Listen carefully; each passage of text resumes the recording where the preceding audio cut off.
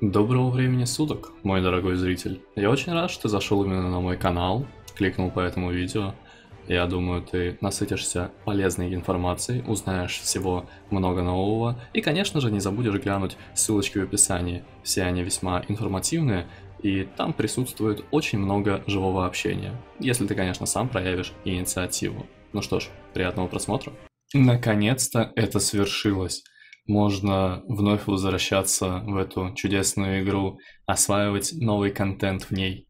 Обновление 8.1.5 выйдет 13 марта. Как я и говорил ранее на стримах, оно выйдет в течение там двух, трех недель примерно ближайших. Ну, в принципе, я был прав. Люди хотели с меня каких-то пруфов насчет этого. Я абсолютно все рассказал, что как бы уже пора. Ну и все сложилось весьма неплохо. Что нас ждет? О, ждет нас на самом деле много всего интересного, если честно.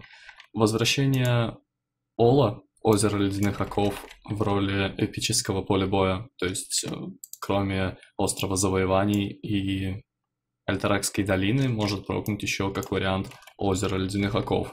Также различные квест-лайны для профессий, для получения каких-то там интересных всяких эпических вещичек для усиления нашей профессии. Видосик отдельно есть на ютубе, и в плейлисте соответствующем, который посвящен обновлению 8.1.5, вы можете абсолютно все найти.